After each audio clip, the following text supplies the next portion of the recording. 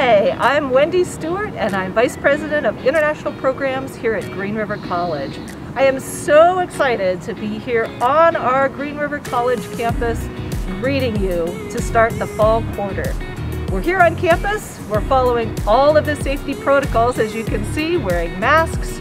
We are a vaccination campus, so we encourage a safe and supportive environment here at Green River. We look forward to welcoming you back to fall quarter and we look forward to supporting your success in class and outside of class and most importantly we look forward to helping you achieve your dreams.